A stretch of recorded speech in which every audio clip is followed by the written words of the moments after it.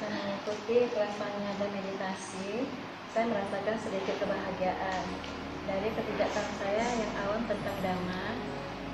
Jadi lebih tahu mengerti sedikit tentang dhamma. Keinginan saya ingin sekali belajar tentang meditasi. Jujur selama ini hati saya tidak merasakan kedamaian dan ketenangan dan banyak pikiran meski hanya satu dua jam saya sudah merasakan ke kegembiraan ini bersama sama Mary Sakya Baga Sati.